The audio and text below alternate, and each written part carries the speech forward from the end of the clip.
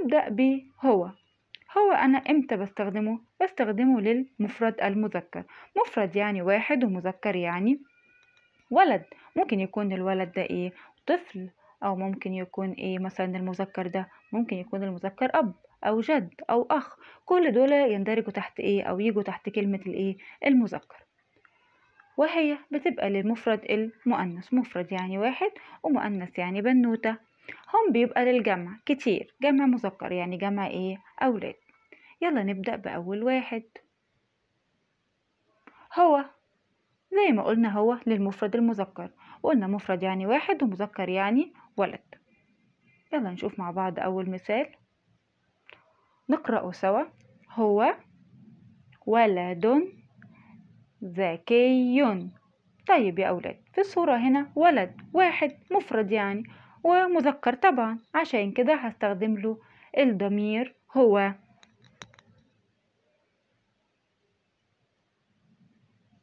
يلا نقرأ سوا. هو يرسم لوحة. لو بصينا على الولد اللي في الصورة هنا يا ولاد هنلاقيه بيعمل إيه؟ آه هنلاقيه بيرسم. فكلمة يرسم دي هي بتبقى فعل. فعل يعني حاجة إيه؟ بنعملها. والحاجة اللي, بي... اللي بيعملها هنا الولد فده مذكر عشان كده بستخدم له الضمير إيه؟ هو. عشان كده بقول هو يرسم لوحة. ينفع أقول هي؟ هي يرسم؟ آه أكيد طبعا ما ينفعش. عشان كده بقول هو يرسم. ولو بصيت يا ولاد للكلمة اللي بعد هو اللي هي كلمة يرسم هلاقيها تبدأ بحرف الإيه؟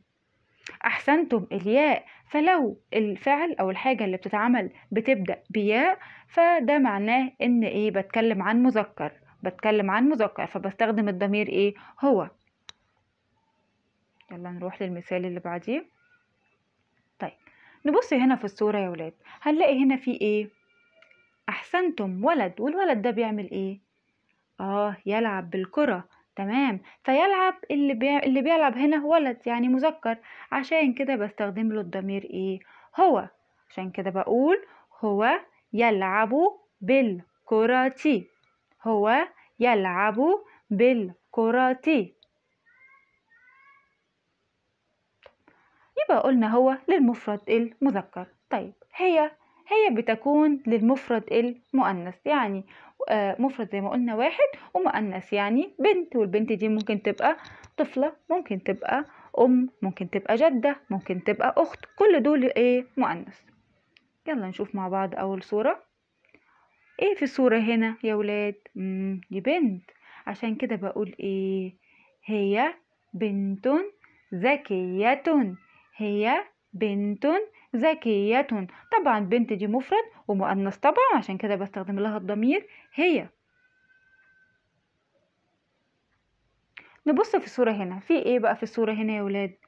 آه في بنت. طب والبنت دي بتعمل إيه؟ تأكل. تأكل ده مادام حاجة بتعملها البنت فده إيه؟ فده فعل. فنقرأ كده المثال. هي تأكل كعك العسل. آه تأكل دي حاجة بتعملها البنت. ولو بصيت لكلمة تأكل هنلاقيها بتبدأ بإيه؟ بالتاء. فآه الحاجة اللي بتعملها بنت بتبدأ بإيه؟ بالتاء. عشان كده استخدمت الضمير إيه؟ هي. يلا نقرأ المثال سوا تاني.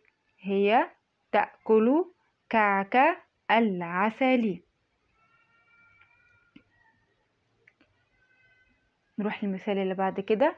إيه في الصورة؟ دي بنت والبنت دي بتعمل إيه؟ تنام.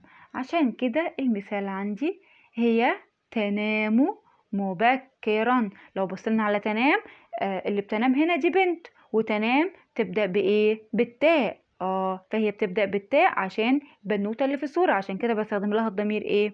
هي هي تنام مبكرا. نيجي بعد كده للجمع هم بتبقى للجمع المذكر. جمع يعني كتير أكتر من اتنين. ومذكر يعني ولاد. قولولي يا حبايبي الصورة دي فيها كم ولد؟ واحد اتنين تلاتة. تلات أولاد يعني كتير. طيب هستخدم لهم الضمير إيه؟ هم عشان كده بقول هم أولاد أذكياء. فلما بلاقي الكلمة بتدل على جمع يعني كتير جمع ولاد جمع مذكر بستخدم له الضمير إيه بستخدم لهم الضمير إيه هم. طيب نبص في الصورة هنا. في كام جندي؟ يلا نعد سوا. واحد اتنين تلاتة. كتير. طيب وجندي ده طبعا مذكر. فعشان كده ده جمع إيه؟ مذكر. فبعبر عنه بقول إيه؟ هم هم جنود أقوياء. هم جنود أقوياء. لو بصينا للصورة هنا هنلاقي هنا الولاد دول بيعملوا إيه؟ فعلا آه هم رايحين المدرسة. عشان كده بقول إيه؟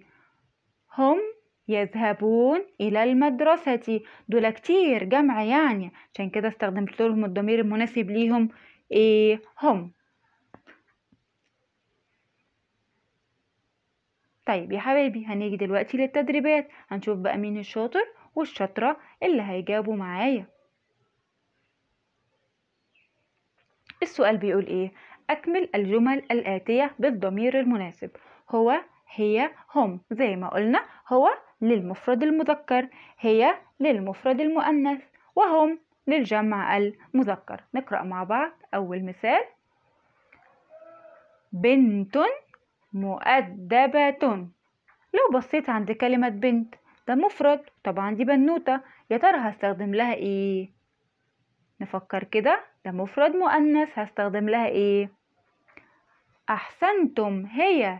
هي بنت مؤدبة. المثال اللي بعد كده.